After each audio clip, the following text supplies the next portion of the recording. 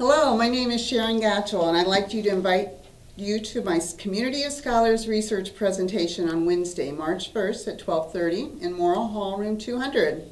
I'm one of the academic advisors here at OSU Marion, but what you may not have known is that I'm taking history courses to earn a bachelor's degree, this time in history.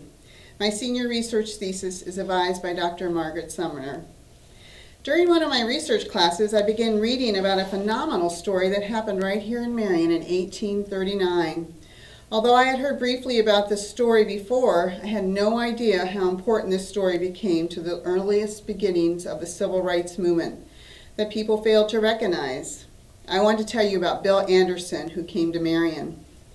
He previously was a slave in Virginia. He said he was a free man. The community liked and trusted him. He became their friend. Then eight Virginians came to town to claim him as their property. Bill sat in jail for 40 days until the trial could be held. By that time, the local community all came to see the court trial. A day of testimony commenced, but only from the Virginians, since the laws of the time could be would not let a black man testify for himself in a trial.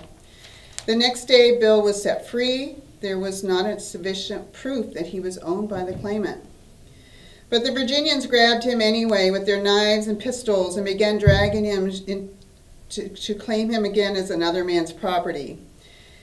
Many local Quakers had planned for Bill's escape. The local Marion people on the street threw stones, stones and bricks to the Virginians to help Bill.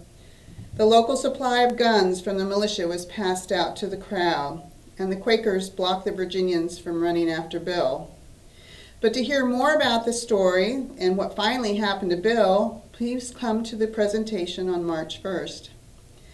Come learn about the courageous people of Marion who stood up against slavery. The Marion riot was heard across the nation as it became headlines in the newspapers for months. It caused people to make decisions on what their stance on slavery would be. Also hear about the original documents of 1839 that was recently found in the Marion County Courthouse and future plans for the new research to come. Thank you very much.